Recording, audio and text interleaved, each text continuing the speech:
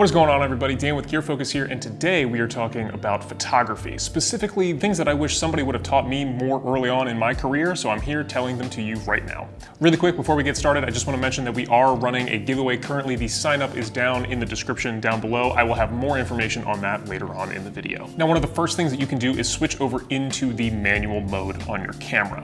This is going to give you the most flexibility that your camera has to offer. Now I know that manual settings can be a little bit scary at first, but once you start diving into them, they really do become pretty easy. Now, if you don't know what each individual setting on your camera does, we do have a video dedicated to starting out with photography, so I will put the link to that up in the top of the video so you can go check that out.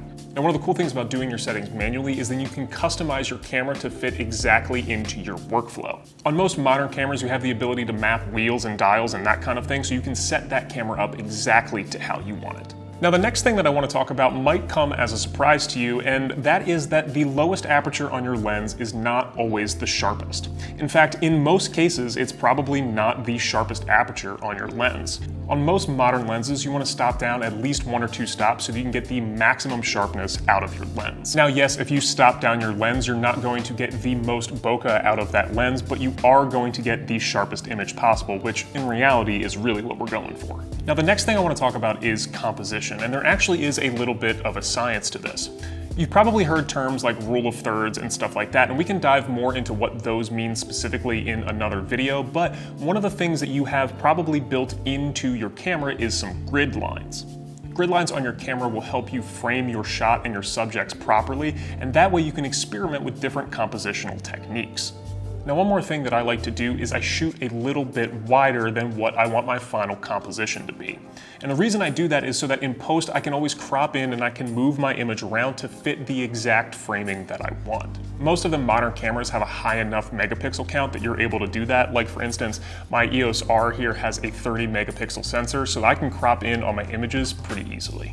Now, like I said at the beginning of the video, we are running a giveaway over at gearfocus.com. It is for an Amaran 100D light given to us by our friends over at Aputure. The winner for that will be drawn on September 1st. All of the details for that giveaway are down in the description down below, and you can use that link to sign up as well. Best of luck to you.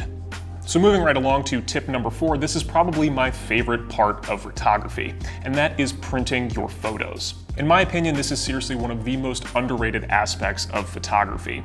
To me, there's just something special about being able to hold a photo that you've taken in a physical, tangible format. There's really nothing else like it. Now, one more added benefit of prints is you can actually sell them to make a little bit of money as a photographer. I've made a pretty decent amount of money just by selling some prints, and it's something that you don't really have to do a whole lot of work for.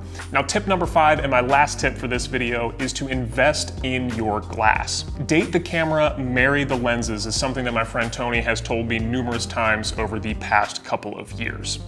Camera tech changes, it seems like every day in this industry, and keeping up with that can either cost you a lot of money or lead to a ton of frustration. Glass is something that won't really ever become outdated. If you guys are familiar with this channel, you know that one of my favorite lenses of all time is the original Canon 24 to 105 f4 lens.